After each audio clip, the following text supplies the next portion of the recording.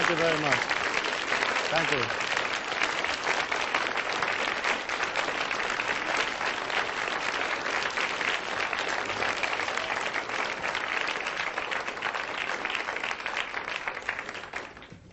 Well, hello and welcome. Um, today we'll be doing our, our, Mastery of Money seminar. And what we'll be doing is basically looking at esoteric concepts to allow you to get the money that you want in life.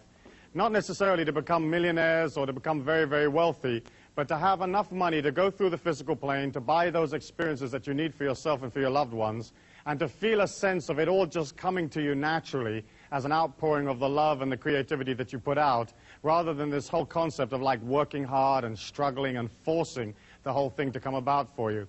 Basically speaking, the way that I handle esoteric money is I teach people to raise their energy. I teach you to become more life force, more power, and then when you do that, people will be pulled to you. People will show up. They're going to crawl over the walls and under the doors, and they're going to lower themselves in through the ceiling, and they'll, they will be there.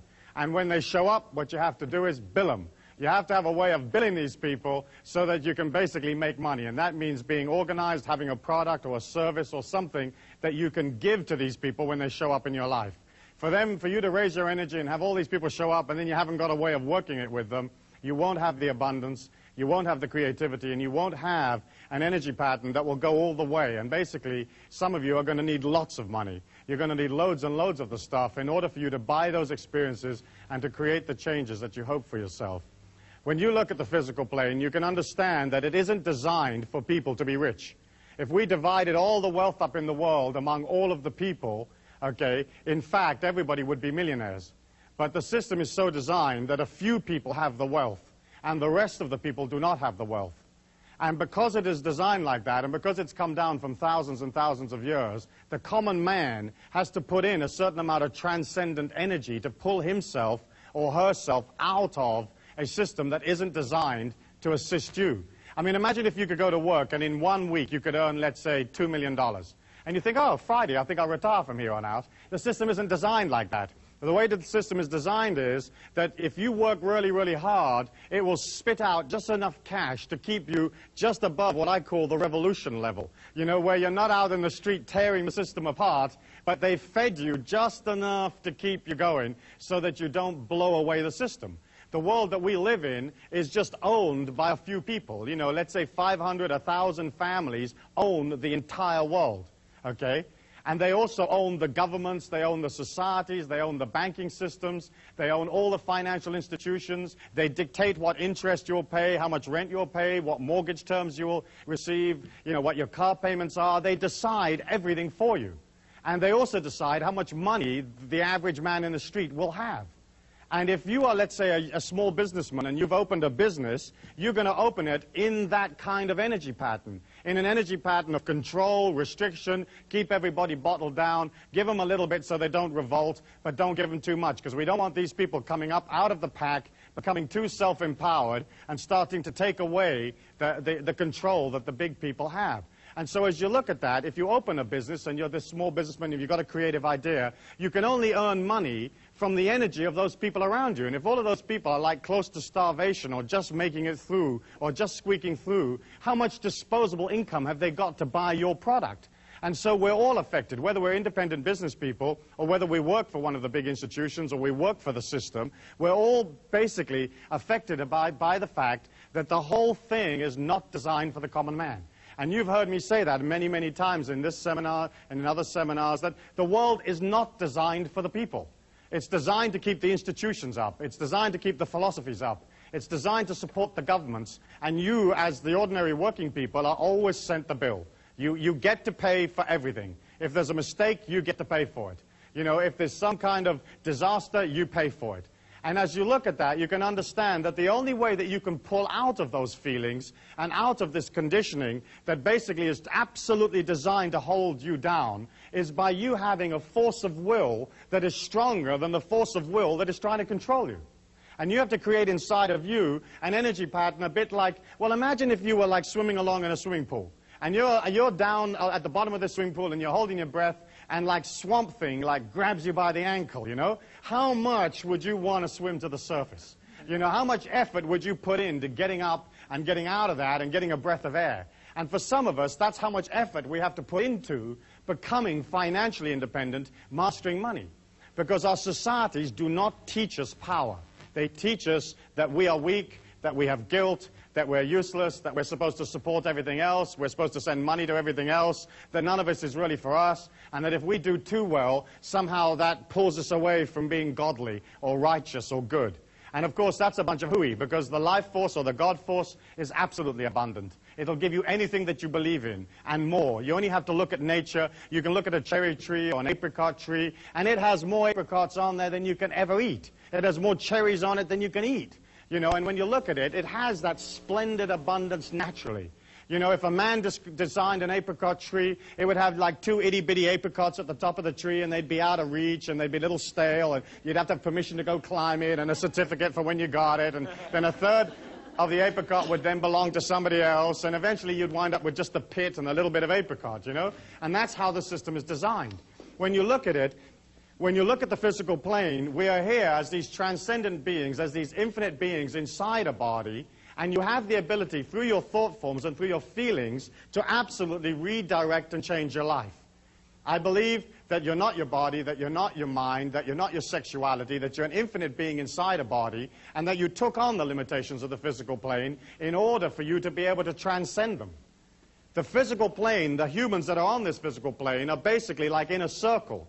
And the circle is created by the electromagnetic waves of the brain that set up this field or this force field that we all live in. And that force field cuts us off from the abundance of the life force. It cuts us off from the God force. It cuts us off from other dimensions of existence and makes us or gives us the illusion that what we see is real. But in fact, the physical plane that you see is no more solid than your thought forms. There's no more solid than, than, than the feelings that you have within you. The fact that the physical plane is moving at the speed of light gives it the illusion of being solid. But in fact, you're looking at basically a non-solid world, a world of thought form of consciousness. Your body being the same thing, your feelings and your thought forms all being different and varied forms of the one and the same energy. And as you look at the way scientific research is going now, you can see that the scientists are getting nearer and nearer and nearer to a unified force field theory, where all energy will be just one and the same energy. And that's my feeling. And that's the sort of mystical or metaphysical approach. I believe that as an individual, you can be in this circle of activity that describes the physical plane, and you can scratch and you can hollow and you can thump and scream and rip people off and compete with them and shove and push, and you can become wealthy. You can drag yourself out of the programming, out of the circumstances. But my way is, I feel, more fluid and simpler, and that's basically to work upon your intentions, to work upon your concentration, and to move into a pattern that allows wealth to come to you naturally. Because the other system, where you're sort of scratching and biting to get money, it's almost like your wealth means somebody else's poverty. Where my way is, you can become wealthy and then allow everybody else through your wealth to become even richer. It's not like there's any limit to how much is out there. And it's not like there's any limit to how much money you can have. There are millions and millions of dollars every day that are lost and left lying around, and people die, and they just leave it in little sort of carrier bags someplace. You know, there's millions of opportunities for cash at no effort at all. And it's not like you, you becoming wealthy is going to detract from somebody else at all. Because we're not living in a finite world. We're not living in a world that only has this much resources or this much wealth. There are more resources to be discovered. There are more creative ways of doing things. There's always an ever-expanding amount of wealth. And what you're doing as an individual is you're saying, listen, I'm happy to concentrate on making money because I understand that if I don't concentrate on making money, I won't have anything. You know, if you concentrate on the phantom rapist, the phantom rapist comes out of the woodwork and bites you on the bum. If you, if you concentrate on money, you get money. But of course, the societies and the way we teach our children disengages them from money. It disengages them from having wealth because we teach our kids, hey, it's not okay to be wealthy. You know, the meek will inherit the earth. The God force doesn't want you to be wealthy. It just wants you to be this little thing and being terribly poor and being terribly thankful for the little itty bitty that you got, you know. But of course, that's not true. That's just a load of hogwash that was handed down over thousands of years. You know, the life force could give a damn how much money you have or don't have. It is not emotionally involved in whether you're okay or not okay. If you're doing splendidly, then your splendidness will help others because you'll be doing economic things, creative ideas, you'll be spending your money, hiring people. You know, you're helping the world by becoming powerful. And yet we look at a physical plane where everything is designed to not allow us to become powerful. As you come into the physical plane, uh, as soon as you're born, or some people would say even before you're born, that mind of yours is beginning to record every feeling, every event, everything that's ever been said to you and you suck all of that up. You know, you can put a person in a hypnotic trance and you can take them back to when they were 11 years old, to their birthday party or something like that, and you can have them tell you how many people were there, what their names were, how many cans of, of Coke they drank, how many packets of Jello was eaten, who did what. You, everything is in your life. Everything is all there. How many steps you took from the parking lot to your seat right now. You have a memory of all of that. And you imagine this small babe, and it's lying there and it's sucking in all this information. And it's born to parents who think that like working hard is honorable, that you have to work hard to make it through the physical plane, you know. Well, let me ask you a question. How many of you here thinking that like, think that like you have to work hard to make money, or you've been taught that you have to work hard to make money? Let me see your hands. Okay, you see, they sold you that. They sold you that. The people that run this circle of activity, okay, sold you that because they wanted you to work for them. You know, they wanted you to work hard for them. Okay? And so basically speaking, we, we buy into that working hard is honorable or working hard is how you make money. Making money has nothing to do with working hard. It's nothing to do with effort or struggle. It's mostly a matter of being balanced and organized. And as you begin to center on your creativity, people show up that want to be a part of that creativity, want to be a part of that action. They feel your security, your strength, and they sign up for it and they pay you for it. So it's a simple transference of energy. You transfer them an idea, and they transfer you another idea called money. As you look at that, you understand that like this small child inside this body, it begins to suck in all of these belief patterns, and it has no volition of, uh, you know, as to what is going to go in there. You know, whatever goes in there is whatever goes in there. So if the mum and dad are fighting over the rent, that's in your subconscious mind. You know, if your mother's into sort of saving and clipping little coupons and there's a big stack of them in the kitchen, again, that's in your mind. Save coupons. There isn't going to be enough to eat. You know, you know, reserve this. You know, eat the leftovers. You know, do this and do that. And I'm not saying you've got to waste stuff as you go through the physical plane because I don't really agree with that either. But we take on whatever our mum and dad or our father and our mother thought. And of course, so many of our our fathers and mothers came out of a generation when there was a depression, when there was a great amount of difficulty, and so they're not able to express a more transcendent, more fluid understanding of money. Today we live in the largest and most fast-moving capitalist society in the world, and there's, there's, there's millions, there's billions that are moving around at any one given moment.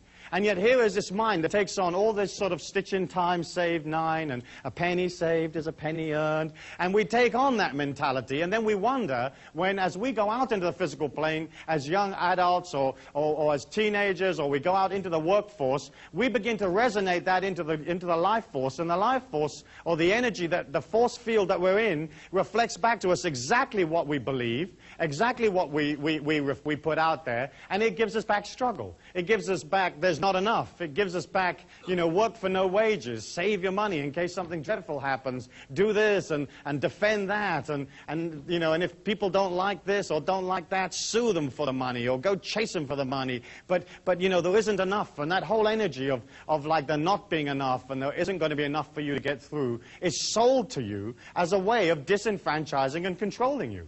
Inside this circle, everybody believes life to be real. And the circle is created, as I said, by this electromagnetic energy that leaves your body, which I believe is created by the oscillation of the brain waves. And so as we look in this physical plane, we're looking at a physical plane that deals totally with manipulation, totally with restriction, and totally making sure that you don't come out of the pack. Okay? As you're going through the physical plane, you're taking in everything that you hear, everything that you feel, everything that's ever said to you, and you're also taking in all the rest of the energy. You're taking in energy subliminally. You're taking energy in below your threshold of consciousness that you don't, not even aware that you're taking it in.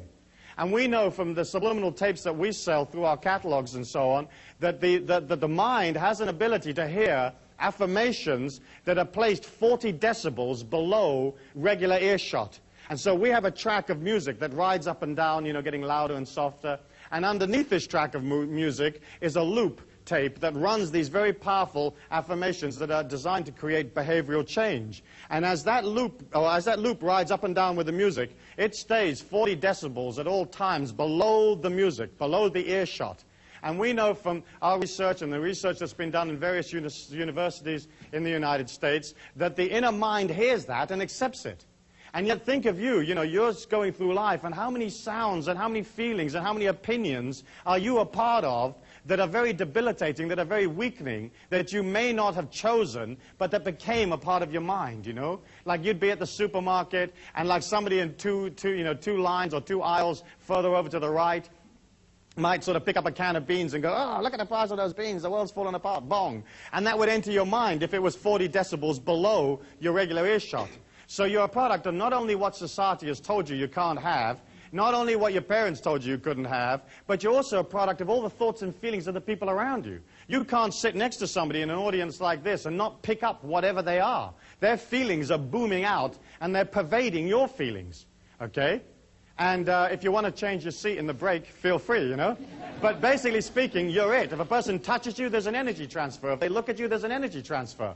And so can you imagine this young being that's coming into the physical plane, who doesn't have, an, have necessarily any experience of how to do it, and being debilitated with all of this stuff, and then going out, putting that energy into the universal law, and getting back exactly what they put in, and they put in for struggle and difficulty and hard work and lack and not enough, and the universal law gives them back that stuff, and then they can say, you see, life's really hard. Okay? And each one of us came out of that same product. So for you to get out of that energy pattern, you have to push against it. You have to literally force yourself to allow yourself to be in control of the money that you make and to master the money. And the mastery of money for me is, as I said, not necessarily becoming very, very wealthy, but being in control. So you spend less than you earn, and you earn enough to buy yourself all the experiences that you're ever going to want on the physical plane. When you think about it, you create a creativity, you create a product or an idea, it's energy. It comes from consciousness. Then you take it out to the people, they respond to it positively, and they give you money, which again is energy. Money is neither good nor bad. You know, the folk that said that money is the root of all evil or the love of money is the root of all evil, they, they just didn't have any. Because you've got to have money to get through the physical plane. You know, you've got to have it. And of course, what happened was that we were taught that somehow money and spirituality didn't mix. And yet, when you meet a person that is truly spiritual, they'll have a lot of energy, and so automatically they'll have a lot of money. In the olden days, let's say in 500 BC or something like that, it was fine for a person to withdraw and to go up in the mountain and sit under the banyan tree or whatever they wanted to sit under and to pull away from the commerce of things and to contemplate upon, you know, the light of God or whatever it is they wanted to do. But you didn't, you, you know, you weren't born there. Or if you were, you know, right now you're here. You're in commerce. You're in travel. You're in making things happen. It's a totally different society. And I feel you could transcend by pulling out and sitting up on a mountaintop. But once you had the power, you would have to come back down into the physical plane and do something with it.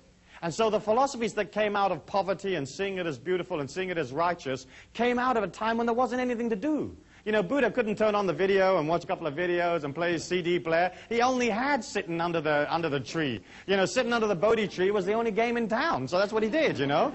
And, but we're not in that time. We're action oriented. We've got things to do. There's people you've got to meet. There's things you've got to build and create. There's, there's children that have to be brought up and developed into strong and powerful human beings. And that's what we're looking for. We're looking for individuals that are prepared to push against the system without confronting it. Because the system will never look after you. You know, it's not designed to. And if you look at the history of man, all the governments have let all the people down all of the time, you know? And if you don't believe that, you don't know anything about history. You know, you might want to repeat it after me. All of the governments let all of the people down all of the time. Because basically speaking, governments are individuals that are looking after their own interest. You know, they're looking after their own power unit. They're looking after their own election. They're not worried about whether you're making your mortgage payment, you know, in downtown Arkansas. They could give a damn, you know. They are just worried about their own position.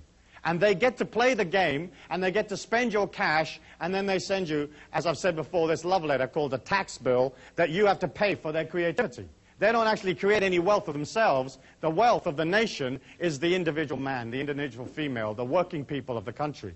We create the wealth, and they just get to play with it. You know, and the way they play with it is they get to spend it pretty much any way they like. They get to bill you anytime they want to bill you. And if they run out, they just print some more.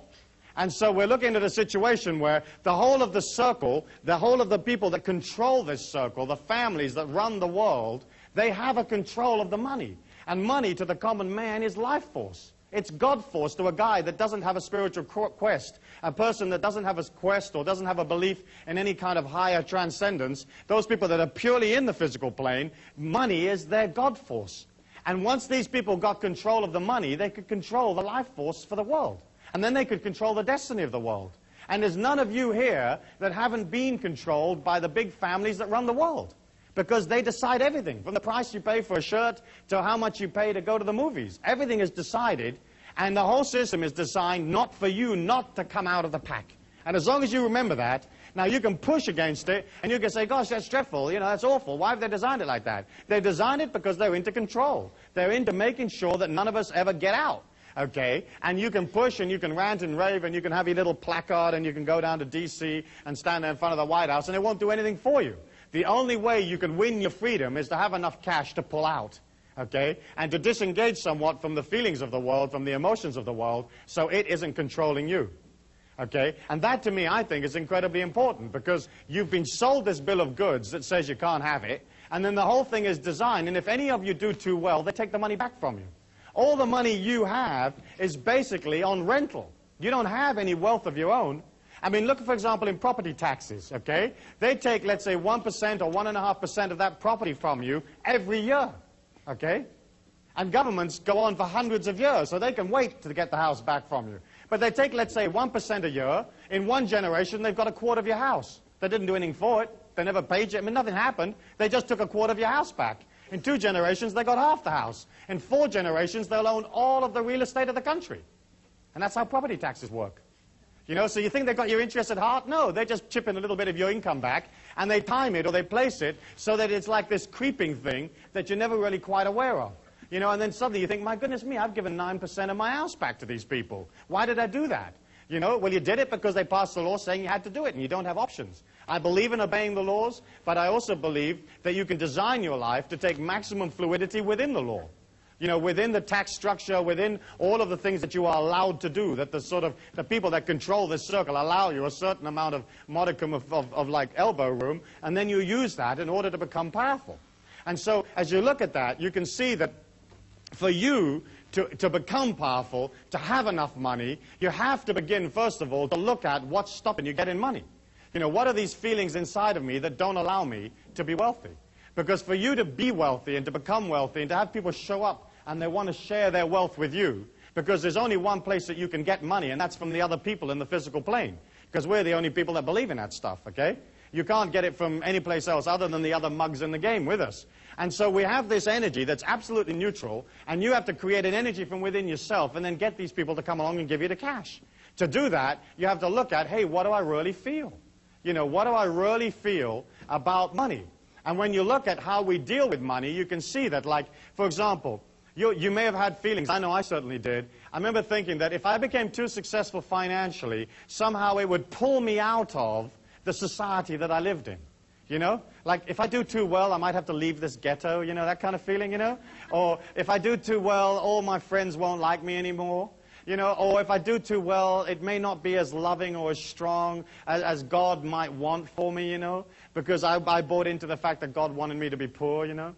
And so as you look at that, you can see that, like, we have hundreds of these limitations. I mean, thousands of them. You know, stitch in time saves nine. You know, there's one. You know, what does that mean, for goodness sake, you know? If the thing tears, chuck it away and buy another one. What are you doing all the stitching for? I mean, who's got time to do stitching and stuff, you know? Oh, stitch. You know, I mean, you get another. It's as simple as that. But we buy that. We buy, for example, things like women are no good at figures, you know, like they're no good at mathematics. That means that somehow or other they're not going to make so much money. And of course, women are, are, just as good as anybody else with mathematics. You only need an $8 calculator. You can work it up, up to $10 billion, you know. and and, I, and I, I, do a lot of business with females, and we, we travel all over the world, and we use a lot of um, feminine talent in, in various areas, and they know how to charge, and, you know, they know how to make it work. I mean, it's simple. It's like, well, here's $1,000, lady, and here's $20,000. Which would you like to have, you know? I mean, it's obvious. You don't have to be brilliant to figure that one out. And so, you know, we, we buy that stuff. We buy that stuff. We buy like getting inside the little circle, getting in the corporation, and taking what they eke out for us, you know? There are other types of limitations that deal with like religious beliefs, you know, where you, if you're not, you know, you're not holy if you're rich or, or that kind of thing. And then, of course, we have all the limitations that deal with well, if I do too well, you know, nobody will like me. If I do too well, it'll be such a responsibility looking after all this cash. You know, how the heck am I going to figure out what to do with all of this money? You know, if, if, I, if I do too well, you know, it will cause me problems. I'll have all these responsibilities. I'll have to defend it and so on. And we buy that stuff. philosophical limitations about your relationship to money. You know, spiritual you know, limitations of one kind or another, sexual limitations. You know, maybe if you're a minority, you may feel that in this society you don't have the ability to, to, to do as well as the people that are in the majority, like as if the God force of the money knows what the color of your skin is, you know, and thinks, oh, I'm going to give this guy a hard time because he's different or something like that. And as you look at that, you can see that all of the people out there in a society or in a circle that is not, is not designed for them to do well with anyway, and all of the belief patterns they've got and all of the limitations, you can see that, like, you can understand why the people aren't rich. You know, why they never make any cash. Let me ask you for one or two of like those standard limitations that we're all a part of, those, those limitations that are so much a part of our culture. Perhaps you, you might like to kind of wander around and, and get a pick up a few for me. Great. Uh, Stuart, there's one my mum always used to say, you've got to save for a rainy day. Absolutely. And if you save for a rainy day, of course it rains, you know, it has to. Because that energy of putting in the, um, the negativity pulls to you the rainy day. You know, the very fact that you believe you're going to be a part of a disaster means the disaster will happen. And if you put a whole bunch of dry food in a hole in the ground, you know, because of that energy of defending yourself, you mount two machine guns on the roof, you put your granny there defending the house, defending the street, then what happens is that that energy pulls to you the disaster because of the negativity that you're putting out. And if you put this dry food in the, in the ground, something will happen. And this moose will come along and it'll do itself on its food, on your food, and there goes your stash or there goes your stock. You know, let me ask you for some others. If you, have, any money, don't tell anybody. Yeah, if you, don't, if you have any money, don't tell anybody because some reason or other that's going to either make them angry or jealous or they're going to come around and try to take it from you. Of course, that's a lot of nonsense. If you're, if you're wealthy, you just feel wealthy. I, I think you don't want to be brash about your wealth and sort of showy or too showy, but you've got to spend it. There's absolutely no point in having money if you don't get rid of it. The whole point of it is to keep it moving and keep it flowing. Money, of course, is like manure. If you pile it all up in one place, it stinks. If you spread it around, it makes things grow. Right?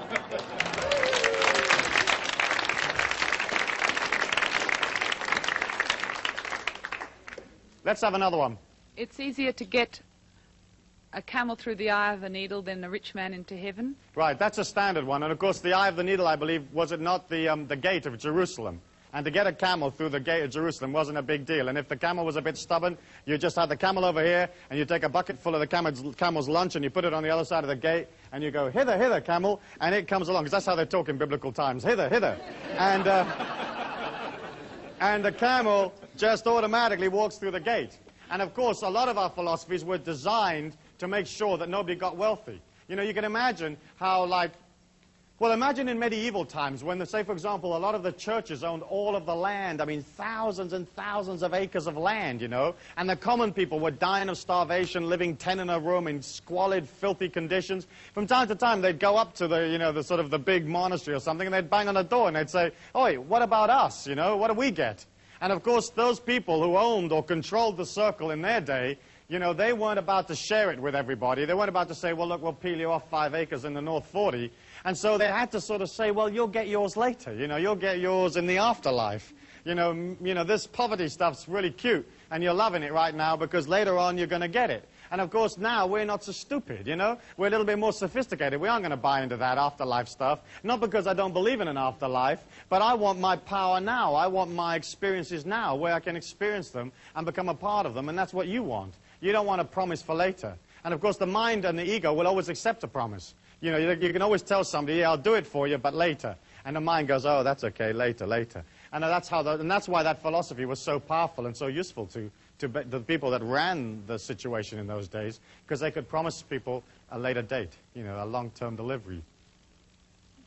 What about being filthy rich?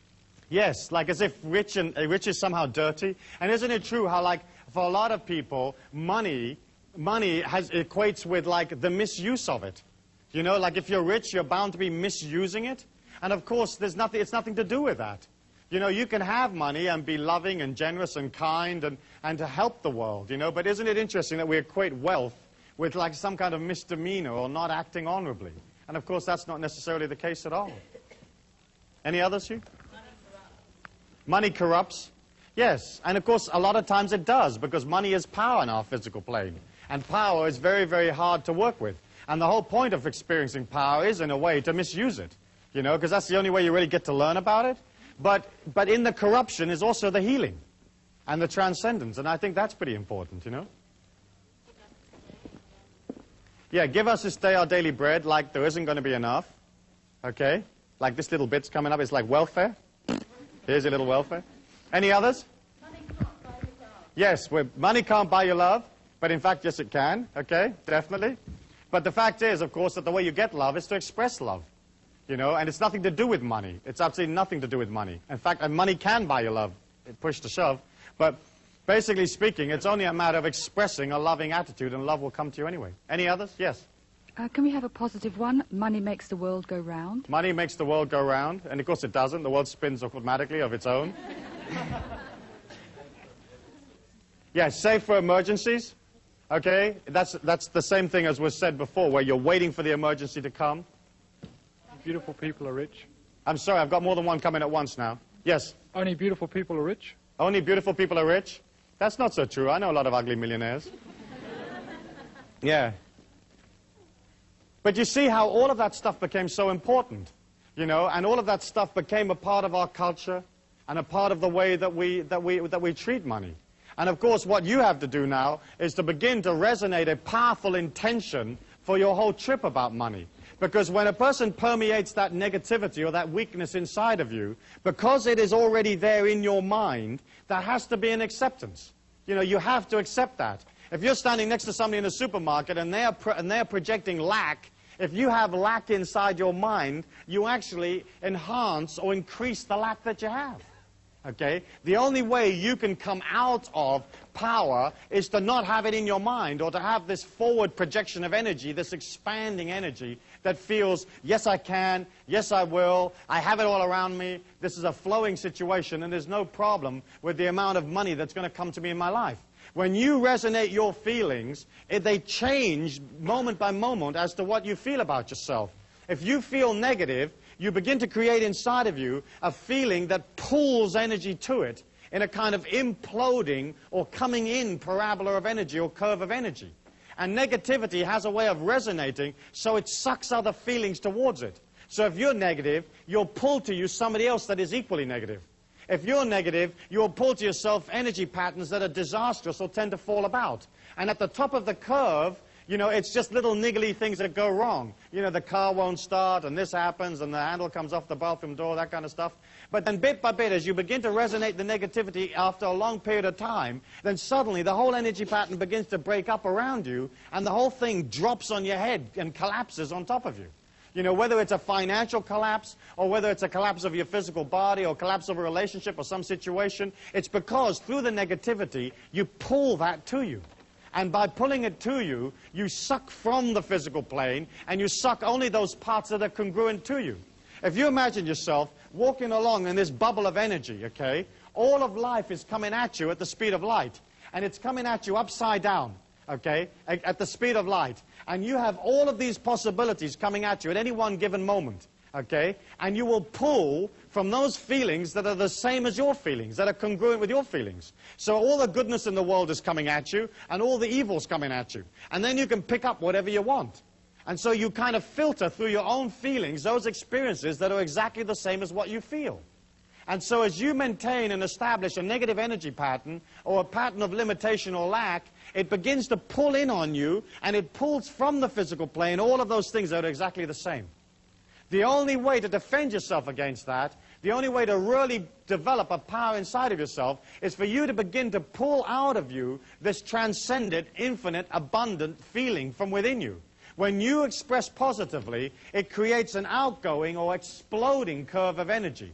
It's like this, this outgoing feeling. Not only is it warm, is it fresh, is it loving, but it inspires people because it's pure life force. It's pure confidence. And it's not like it's not like sort of confidence that you wear on your sleeve, which is real sort of pushy type of confidence, but it's basically confidence of feeling everything's okay. And as you resonate that energy outwards, the more and more power that you put out into the world, the more you allow that infinity and that abundance to come from your feelings, the less the negativity of the other people pulls you down.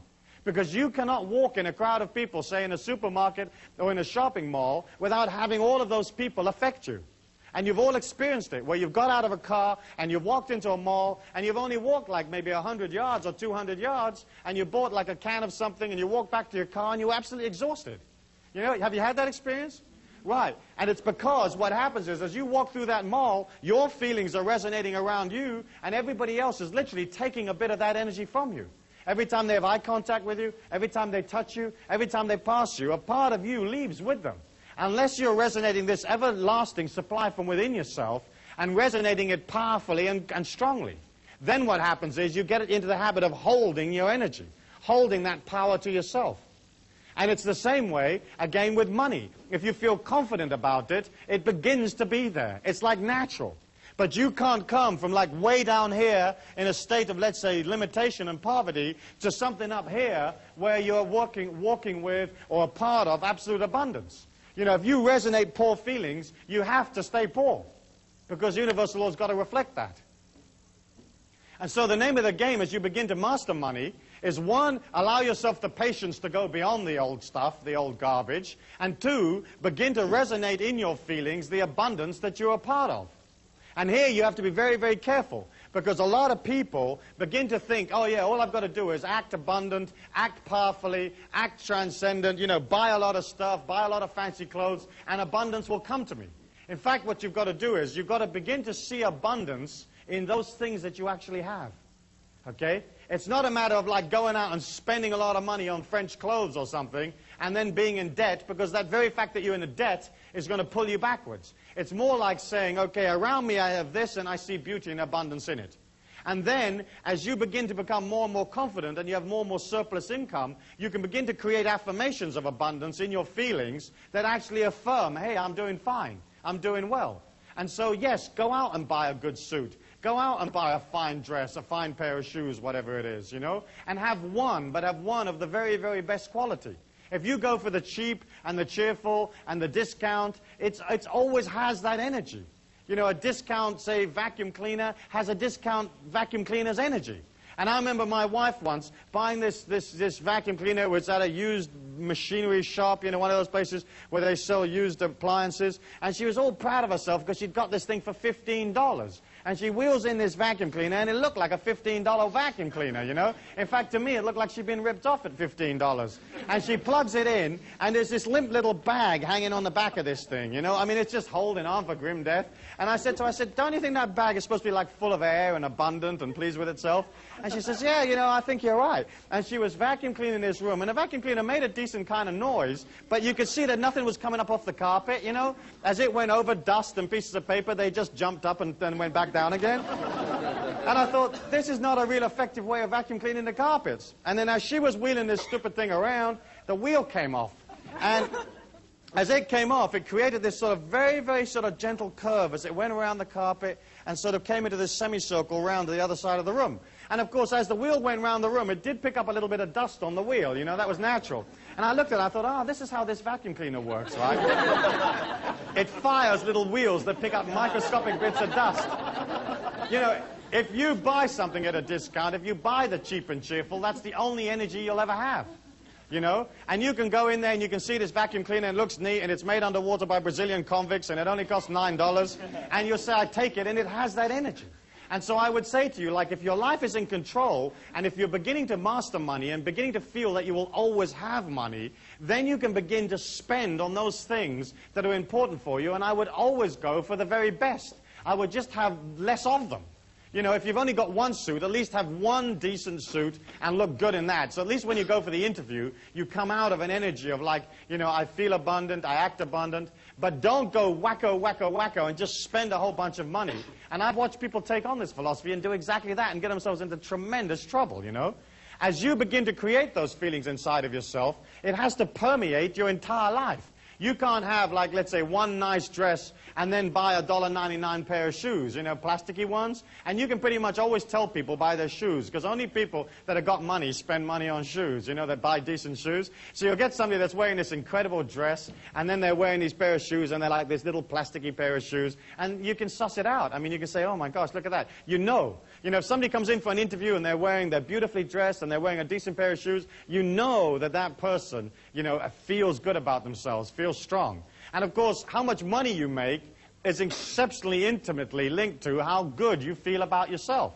Because it's a function of the ego to, dev- to devise a system for its own survival. It's a function of the ego to try to win acceptance from the people. It wants you to love it. You know, you want people to come up to you and love you. And so what happens is, as we go out into the marketplace, we have a tendency to sort of charge less or not charge anything at all, just to win people's acceptance. And that's the same thing about being sucked into what people think about us. You know, if you're not sucked into what people think about you, you just go about your life, what they think about you is their problem, not your problem, then you can begin to charge what you like for your services. And if you're coming out of energy and you're coming out of love and you're coming out of transcendence, you're basically selling a higher ideal and there isn't any limit to what you can charge.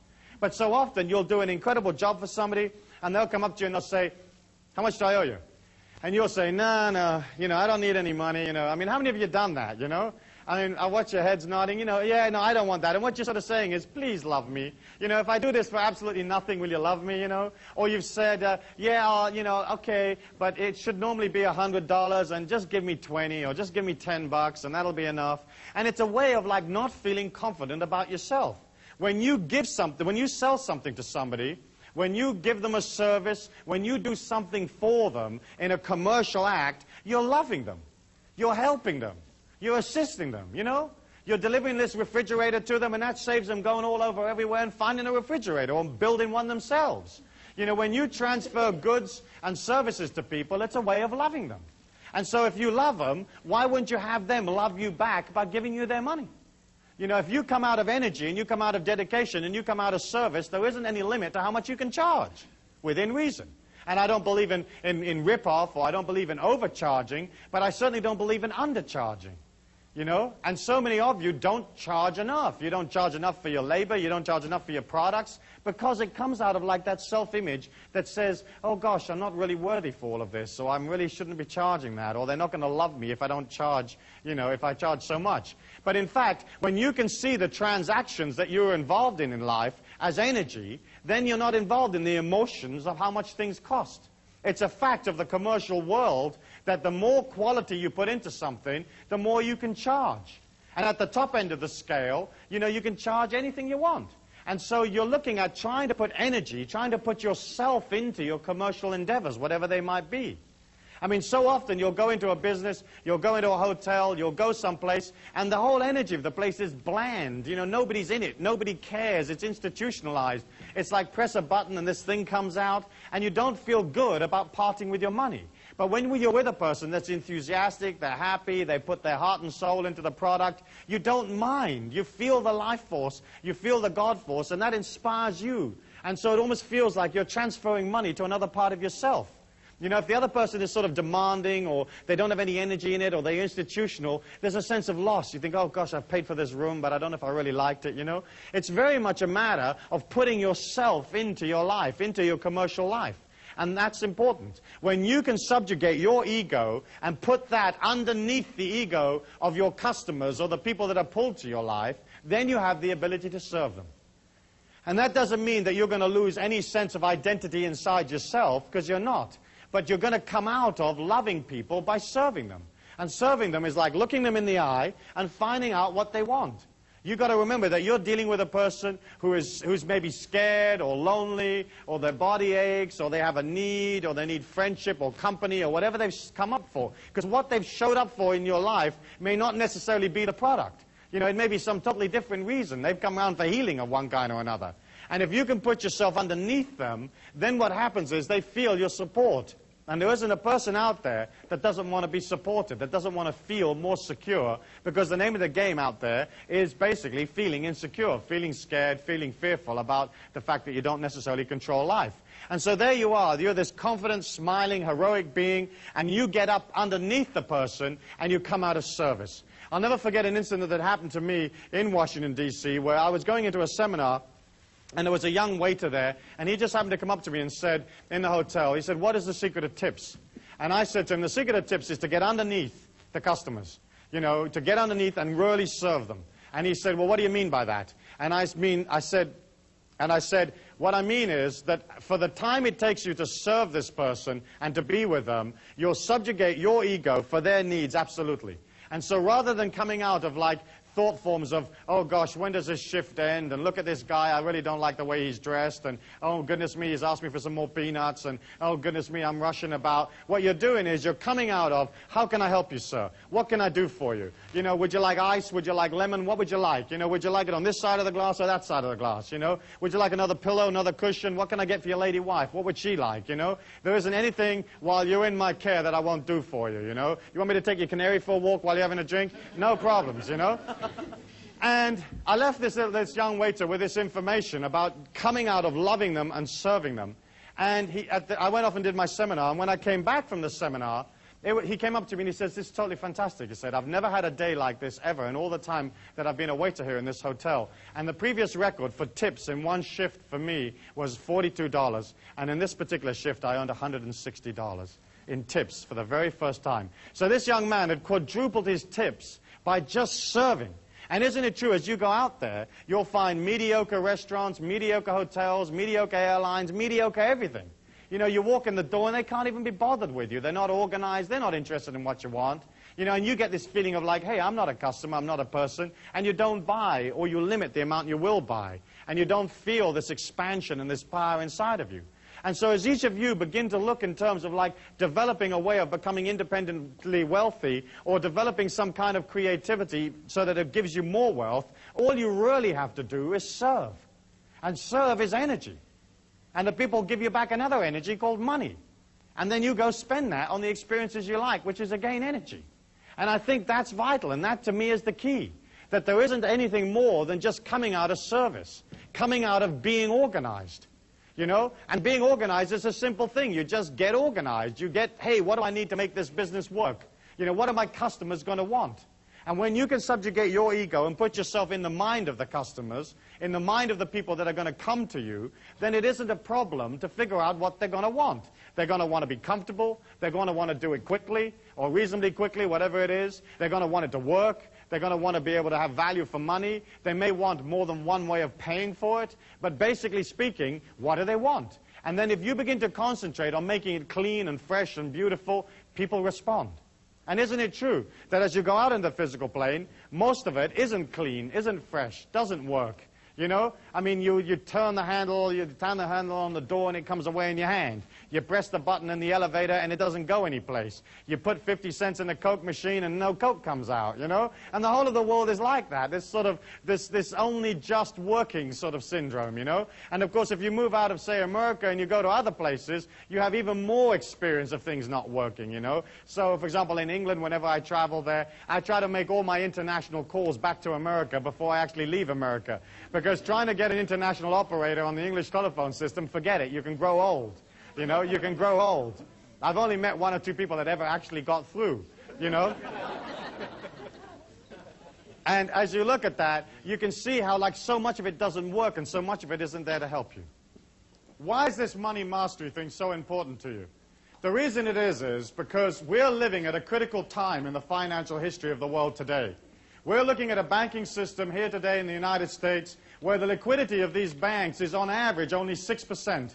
In the era going up to 1929, the liquidity of the average American bank fell from like 20% to 12%. And that really, really concerned people. Today, our average American bank has a liquidity of just 6%, which means that 94% or 94 cents of your dollar is no longer in that bank. And the money, that 94 cents that isn't any longer there, has been lent out to all sorts of folk that may or may not give it back. After the oil crisis in the, 70, in the, war, in the 70s and in the war in the Middle East, the sheer amount of money that poured into the American banking system and the big financial houses of Europe and so on, that money came pouring in, the greatest transfer of wealth in the history of mankind, and the banks had to lend it out. When a bank takes your money, when it takes your deposit, that's a liability for the bank. The minute they can give it to somebody, lend it to somebody, it becomes an asset in their books. And so there's a tremendous propensity for the banks to kind of get rid of this stuff. It's almost like this hot potato that they're trying to shove onto the next guy. And so when the oil prices went up, you know, in the 70s, these banks went out and they kind of gave the money to everybody, you know. They just dolloped it out and said, hey, you need some cash, take it. And all of the countries out there of the third world and the lesser developed countries and so on, they took that money and they spent it. And they spent it like crazy on all sorts of projects that may or may not have assisted the infrastructure of those countries. And now we're looking at a situation where it's tremendously difficult to get the money back from those countries. You know, America gave money to every nation in the world. I mean, just gave it. It gives it to its enemies. It gives it to its friends. Albania is the only country that America hasn't given any money to. And the only reason they haven't given any to Albania is because they can't find it. If they could find Albania, if they could find Albania, they'd give them some. You know, and so all of this money's gone out, and you can watch these third world countries struggling trying to get it back. Mexico is an excellent example where they have a debt of up around close to $100 billion and they get about seven or eight billion dollars a year in in oil revenues. So you can see that if they're only paying, let's say, seven or eight percent interest on their money, they need all of their oil revenues every year forever and ever in order just to service that debt. And what happened was that when oil fell recently, you know, tumbled down from its peak of $30, $35 a barrel, we got into a situation where the American people were literally wiring money down to Mexico so it could wire it back to the bank so that nobody would default. It's like you're getting billed as a common man, you're getting billed for something that's nothing to do with you. We have a situation where, for example, corporate debt in this country is at 50% of its total assets. And a lot of the assets that the corporation have are in the form of paper and notes and bonds that they're holding of other corporations. So the 50% that you think they've got, some of that may be real money, it may not be real money. The government has basically continued to print money like crazy in order to try to keep the system up. After 1946, all the major trading nations agreed to come off the gold standard, which meant that all of a sudden money didn't have to be real anymore, because in the olden days, a, a dollar bill was a receipt for some, for some gold someplace. And in theory, you could walk up and you could say, hey, you know, I, I want my gold, you know, or I, I want to look at my dollar bill, or whatever it is you do when you go around the bank. But basically speaking, once all these, all these countries came off the gold standard, there wasn't any limit to how much money the governments could create. And here in America, since 1980, the government has expanded the money supply 300%. But the country's only grown like 25 to 30% in that period of time. And so when you have a situation that the people that control all of the activity inside the circle can literally print money, you can see how there's a lot of money out there that really doesn't have any value at all. It's just a matter of everybody believing in it. And the banking system, everybody's got to believe in it. And that's why the common man never gets any of the information. They only get little bits of the information, because if anybody actually told you what was actually going on, you'd freak out and you'd go get your money back. As you look at that, you can see that like personal debt has expanded, to the point where like the average person owes like one and a half years wages. You know, corporate debt is 50% of assets. The governments are running trillions of dollars worth of deficits. The trade figures are incredibly imbalanced, where it's costing billions and billions of dollars every month, you know, more than they're actually taking in. And you can see that all of this is creating a strain on the financial resources, not only of America, but all of the trading nations of the world.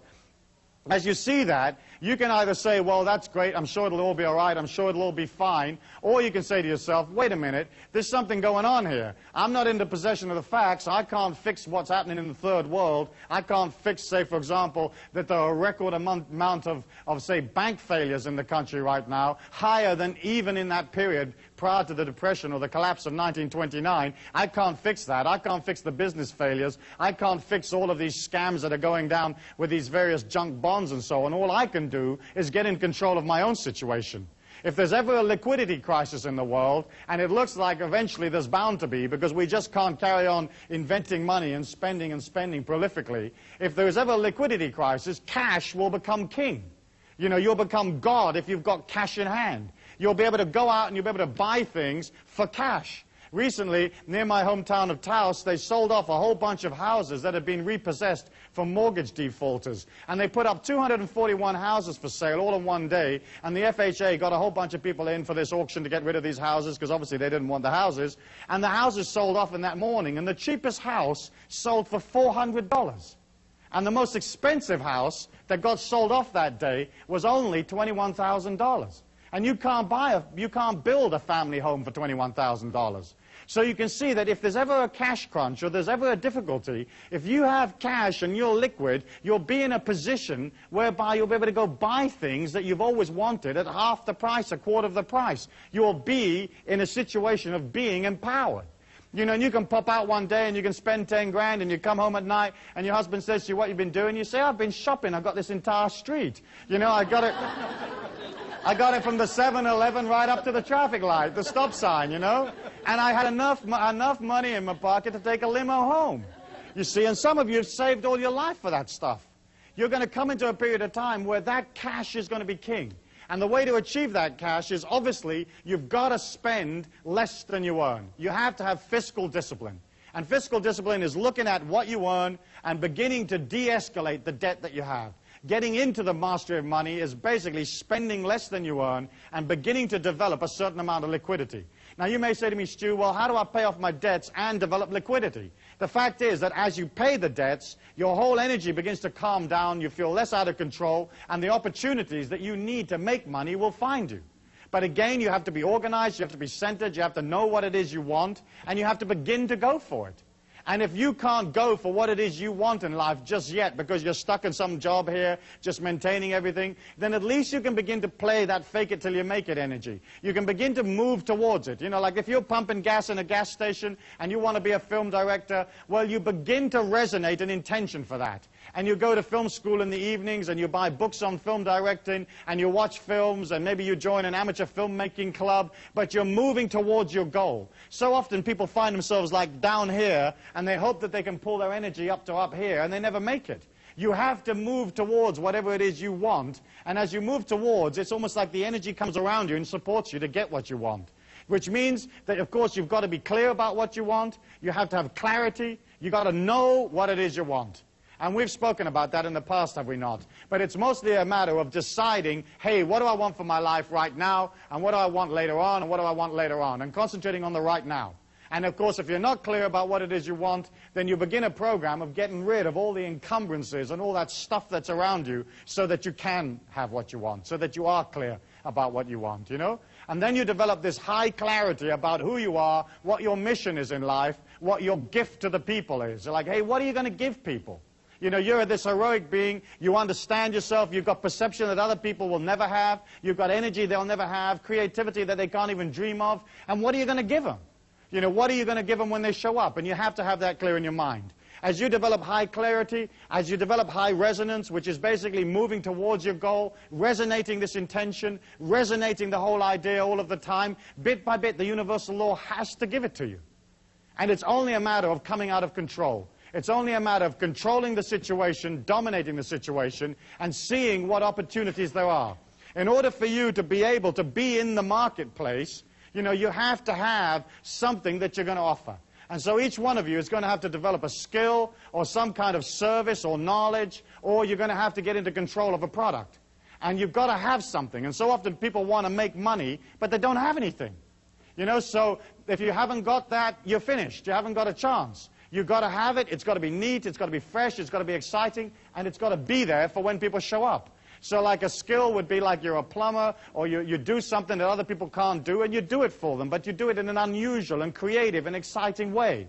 You know, and you roll up at the front door and you're in this big polystyrene bubble, you know, that looks like a sort of a, a spanner or something. People say, what are you? You say, I'm the plumber, and it's musical, and up comes a little hat, you know, and, and and, and they think, oh, this is incredibly interesting. This is really different. Most plumbers show up in, you know, oily overalls, grumbling and moaning about how lousy plumbing is. And this guy shows up in his chicken outfit or whatever it is, you know?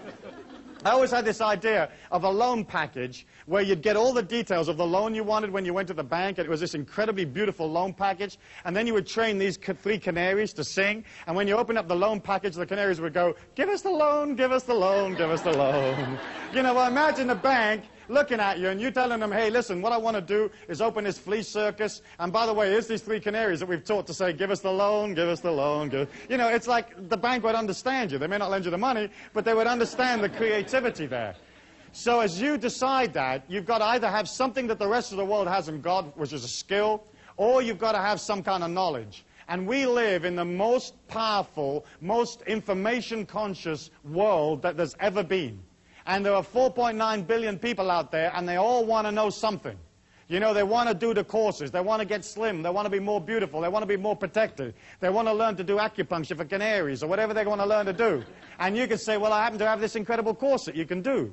And in fact, information transfer is now one of the major industries in the world. And so all you've got to do is either have the information or acquire it, and then begin to figure out how to transfer it to other people. Of course, if you happen to be, say, for example, a lawyer, then the information you can impart, you have to do one-to-one. -one. I personally prefer information transfer where you can get a lot of information out to a lot of people without being there personally yourself. So there's videos and tapes and books and a thousand and one other ways of you transferring information to people. But if you have that information, people will pay you. And the reason they'll pay you is because they haven't got time to learn everything themselves. They haven't got time to do it all themselves. They want you to come along and tell them, hey, how's it done? So you've got the possibility of a skill, you've got the possibility of a service or, or, or knowledge, or you've got a possibility of a product. And of course, the product is by far and away the easiest way of making money, usually. Because there isn't usually any limit to how many products you can manufacture, ship, and get paid for. You know, knowledge has its limitations in many ways. A, a skill or a service has its limitations because you have to show up personally and do it. But a product has that incredible neatness that if it works for 10, it'll work for 100, it'll work for 5 million. And, you know, I've heard stories of people that have started companies that have literally made $40 million in the first nine months of the company. And they had a good product. And they got a lot of people excited about the product. And they got them selling this product to other people, serving the community, giving them this stuff. And they, and they generated 40 million in nine months from a standing start. So if you have something that is a product, you're in a position to transfer that to other human beings and get paid for it. I think the important thing to remember about a product is that it has to be something that you love, that you live and breathe. You know, if you're setting these little multi-swivel toggle flanges and you love them, great.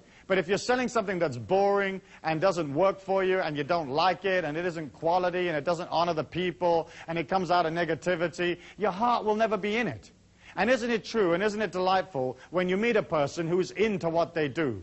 You know, and you go in the hardware store, and I hate hardware stores. They give me the creeps just to walk in them, you know. I, I don't like do-it-yourself. I don't like fixing things. I'm lousy at that stuff. And just to walk in and all those little oily boxes, I mean, it just, ugh, it just throws me away. And, and so if you go in there and the guy's all happy and smiling and he's the sage of the oily boxes, you feel, you feel nurtured, you know? You feel nurtured. You feel, oh, this guy really knows. And, and you don't know. And they ask you all those dumb questions, you know, don't they? They say, well, do you need the 16th, a quarter of a 16th inch double swivel reversed diddly diddly? And you go, I don't know. You know, I just want a screw that'll hold the bathroom mirror up. Yeah, but do you want the kind that's the double bolt with a whammy jammy on it? You know, and you don't want to know. You know, you just want a guy to give you a bolt. You don't care what it costs. You haven't got time to figure it out. You don't want to do like a, you know, a four-week course in, in, in little bolts. You just want a bolt. And so you feel supported. And so often we go in stores and the attendant will say to you, the shopkeeper or whatever, oh, I don't know, I just work here, you know. Does this, does this, da da da da? I don't know, you know. They don't know, they don't care, they're not interested. And I think that if you're going to be transcendent beings and you're going to serve the community by giving them something, you've got to be damn good at it. You've got to put as much energy as you feasibly possibly can. You've got to get organized. You've got to have concerted action in the marketplace. Because all the affirmations, all the visualizations, all the stuff out there, you know, the prayers, whatever which way you have, rub the little rabbit's foot, all of that stuff won't work for you unless you're out there with a concerted action plan. You love it, you live it, you breathe it, and you're happy and excited to deliver it to the people. It's simple. It's incredibly simple. Commerce is just a matter of expanding yourself to do more of it. And that expansion always comes out of control. It always comes out of controlling your environment, understanding there's no limit to how much you can charge. Well, let me ask you, how many of you are going to put your prices up next week? Let's see you. You know, how many of you really believe in yourself? There you go, you see. And people will come into you and they'll say, well, isn't this massage $40? Normally, you know, I understand now you're charging 80 And you say, yeah, I'll charge 80 this week. I feel good about myself. Next week, I'll feel even better. I'll charge 160 you know, and you begin to charge, but you put yourself in it. If you put yourself in it, they won't mind paying for it. And so, again, it's very much this whole philosophy of like pulling out of what the world says you can be, pulling out of the limitations they say you've got to be a part of, getting clear about what it is you want, resonating that intention for yourself, in other words, moving towards it, creating a clarity, creating a power around you, and heading on out. And some of you are going to have to move slowly out of, let's say, something that's restricting into this special kind of freedom that you're developing for yourself, but you begin to create it. You can begin to create it by developing, say, a hobby. There's a million of you that have various kinds of hobbies where you can make money on them. And I know guys that have converted their hobbies into multi-million dollar businesses where there's things that you know, things that you're interested in, and you can begin to form associations and begin to meet people. You know, if you don't go meet people, then again you create around you this limitation of not having enough people to go sell. You can have a brilliant idea, and if only you know, all you know is your auntie and your mum, you've got two customers, you know? But if you begin to understand that going and meeting people is a way of you expanding your energy, it's like saying, oh gosh, I've got this little energy and I don't feel too confident about myself and I don't feel too confident about this stuff, and so I won't bother to tell anybody, and that way I'll never have to like face the fact that I'm not really confident. But if you're good, if you're damn good, if you're coming out of love, you're coming out of service, you won't mind expanding. You won't mind traveling. You won't mind trying something new. And you won't mind going out and meeting people. You know, I tell people, listen, if you want to meet people, join churches. You know, it's a great place to meet people. You can give out your little card in the breaks, you know, pass them out in the pews, and then just join as many churches as you... join as many churches as you can sign up for, you know? I mean, you join a Muslim church, and then you go to the synagogue on Saturday, join a couple of Christian churches on Sunday, especially those sort of open, positive, New Agey type of Christian churches. You know, and then Monday you can get into some kind of wacko cult, you know, and you join them on a Monday when they have their services, and you're just surreptitiously are passing out your cards, but people get to know you. Because I've watched people develop ideas that were really cute, that were really neat, and go out into the marketplace and have an initial burst of activity and then fizzle out. You know, and then, and then suddenly they're despondent and, and, and they're upset and they feel that their creativity isn't any good and they wind up going back to what they used to do because they didn't have the force or the courage to push through to like meeting people, talking to people, being with people. When you get to the point where you talk to 100,000 people a year, you've got a chance with your idea. When you get to where you talk to a million, you've got a real chance. When you get up to like 5 million, then you're really cooking, you know? When you get up to 50 million, forget it. You know, you'll have so much money, you'll have to move out of the house and get a bigger one because it's people that are going to give you the cash. And it's you feeling confident about yourself and going up to these people, presenting them with the idea and knowing that they're going to love it. And the reason they're going to love it is because you designed it for them.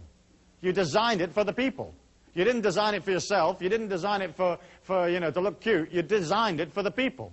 So you'll come up with the only bath that has faucets that work with your feet you know? And there you go, and you suddenly say, I've had this incredible idea. For 2,000 years, they've always had these baths with these little wacko little cross-shaped faucets that you can't work with your feet. Now we've got the foot bath. And here's the, here's, the, here's the handles, and here's where you put your toe, and this is how you make it go hotter and colder. And everybody will love you. They'll say, she invented the bath faucet. She made it something, because you don't have to do anything really different. You know, you don't have to come up with some incredible laser-operated sandwich-making machine. All you've got to do it's come up with something slightly different. You know, and you've heard me talk about the pizza parlor, where, like, you can have, you can be one pizza parlor in, an entire society of pizza parlors, where there's 17 in the street. But you could still make that pizza parlor so interesting that everybody's breaking their neck to come, you know? And there you are, you've got your pizza parlor, and you've dug this big hole in the middle of it, and you've got, let's say, like a 20-foot drop and some alligators in there, you know? And then you build this rickety little bridge from the front door to pizza parlor to where the cash register is, where people order, you know? And you make this bridge so that it kind of wobbles a bit. You know, and people say, well, isn't it dangerous? And you say, yeah, we lose a few, but, but they're hungry. When they get on the other side of this bridge, these people want the pizza, you know? They want that stuff. And the alligators, is folk drive from miles around to see these alligators. And then we're going to put a waterfall off the roof. And they're going to get a little wet coming in. But once they're in here, they've got to stay for half an hour to dry themselves out. So We'll be in this street. We'll have this waterfall off the front of the pizza. We'll have this big hole with some alligators in it, little, little rickety bridge, and the people will feel excited. They'll feel a sense of achievement of making it across, you know, especially the older ones, you know. and they'll feel good about it, and they buy pizza. And that's all you've got to do. And a pizza could be totally revolting, but, but they're going to buy it. In fact, if you're coming out of transcendent, you're coming out of heroic, you love yourself, you're going to put everything you can in that damn pizza. And you're going to make that thing wonderful. And so what you're looking at here is you're not looking at like developing some incredible plan or going to some business school necessarily. You're just looking at a shift in consciousness, a shift in dedication, understanding it's fine for you to be wealthy, understanding that you're infinite and there's no limit to how much wealth you can create for yourself. Okay? You're going to get clear about what it is you want. You're going to resonate that intention. You're going to play fake it till you make it. Whether you got it or not, you're going to move towards it no matter what. You're not going to let yourself get out of control and start spending a whole bunch of money you haven't got, okay? You're going to allow yourself that power and that energy at all times, moving towards it, clear, resonating it, having it, being original, and more than anything else, you're going to love yourself by charging enough, okay, by giving yourself time, having patience, and you're going to love the people that are pulled to you by serving them. And if you can come out of that that, that, that love and that caring for people, putting your ego aside for their needs, your life and your business and your families will be swamped. You'll be swamped. You won't be able to handle the amount of people that show up. And as that happens, you'll have a way of billing them because you'll be organized and you will develop wealth. And suddenly you move out of struggle into a natural understanding and a natural flow. And that's how it was always meant to be. Life was only ever meant to be this gentle walk through a valley on a sunny day. It was never meant to be this incredible struggle, this incredible effort. And each one of you has that as a heritage, and each one of you can put that into your life right here and now, today. Thank you very much.